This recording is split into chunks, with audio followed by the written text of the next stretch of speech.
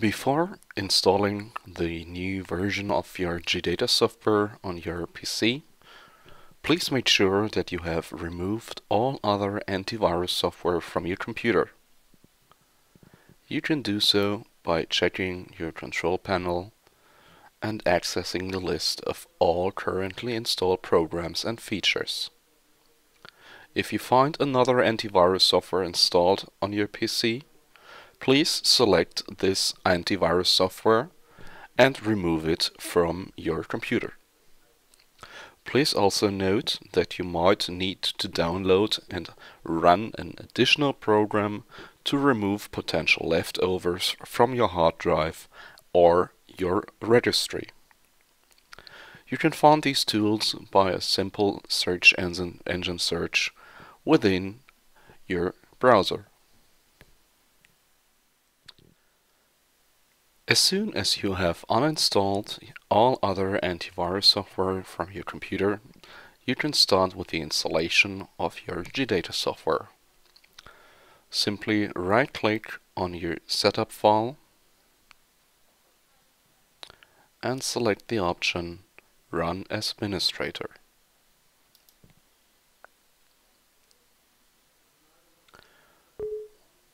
When asked, please select Yes to continue the installation.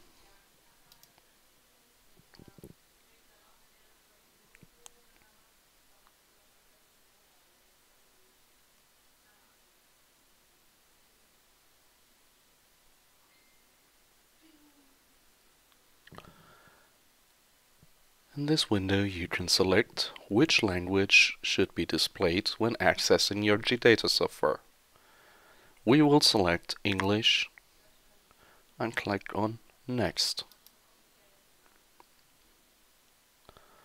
The next step is to decide whether you want to perform a standard installation, meaning that all the available functions within your purchased software will be available within your installation on your computer.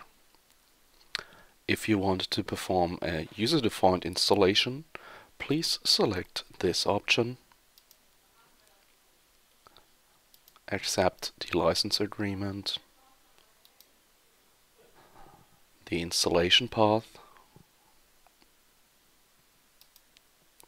and last but not least, which functions should be installed.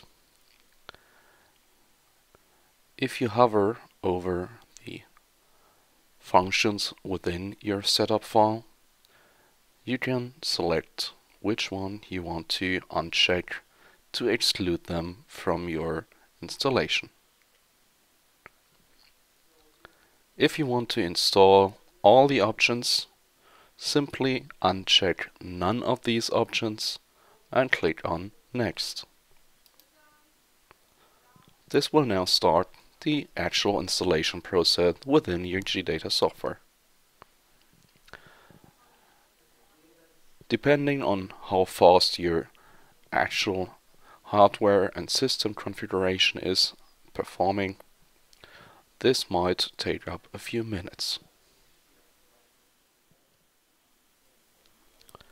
At the end of the installation process, you can select whether you want to activate a full version or if you want to activate a trial version of your G DATA software. If you have purchased G DATA, you should always select Activate Full Version, which will lead you to the next window. In this window, you can choose whether to enter a new registration number, enter login credentials, or to activate later. If you have bought a registration number for several licenses, meaning PCs, you only have to enter the registration number one time within this window. After you have entered the registration number, you cannot use this registration number a second time. You will, however, receive login credentials in which you can actually use to enter them. For the case that you have a new registration number, You select this option and you will be asked to activate your license. Enter your registration number, your first and last name, as well as your email address.